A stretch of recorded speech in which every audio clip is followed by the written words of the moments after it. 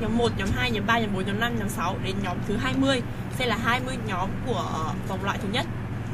À, đây là cái mà chúng tôi hiện ra cho các bạn là ví dụ minh họa cho các bạn xem. Còn sau đấy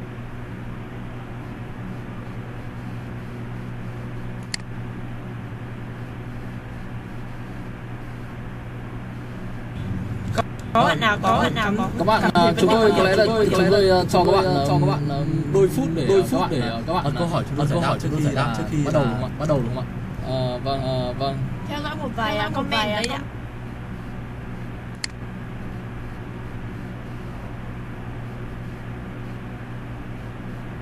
như vậy là chúng ta đã vi phạm về cái à, ờ, nhân vật mất rồi. Nhân vật. Đi không được dùng không được sử dụng trong uh, đợt trận thi đấu này.